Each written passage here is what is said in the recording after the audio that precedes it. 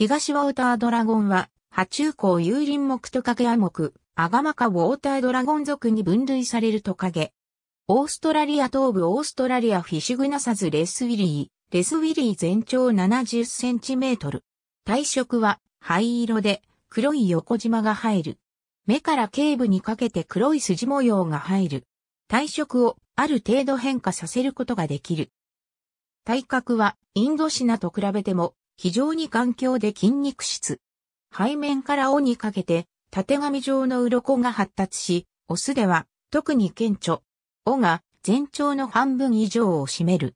オスの生態は胸部が鮮やかな赤やオレンジ色になる。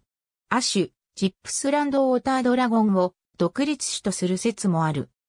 平地の水辺の森林に生息する。半樹状性で木の絵にいることが多い。驚くと水中に飛び込んで逃げたり、後ろ足だけで立ち上がって二足歩行で走る。食性は極めて動物食傾向の強い雑食性で、昆虫類、小型爬虫類、小型鳥類、小型哺乳類、果実等を食べる。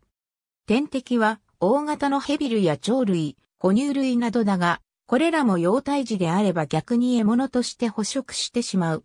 繁殖形態は卵性で4から18個の卵を産む。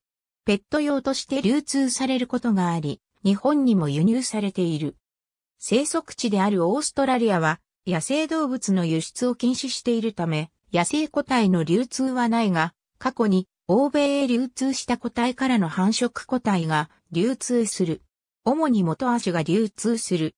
以前は価格が高価で流通も稀だったが、最近は流通量も増え価格も落ち着いた。驚くとケージ内を走り回り、粉炭を潰してしまうため、飼育には広いケージと落ち着いた環境が必要。幼体から飼育すれば人や環境になれることもあり、個体によっては手から餌を食べるが、場合によってはケージを暗膜で覆う等の対処をして、外部から刺激を受けないようにする。ただ本種は繁殖個体のみが流通するためか同族のインドシナワウタードラゴンに比べケージ内を走り回ることはないとされる。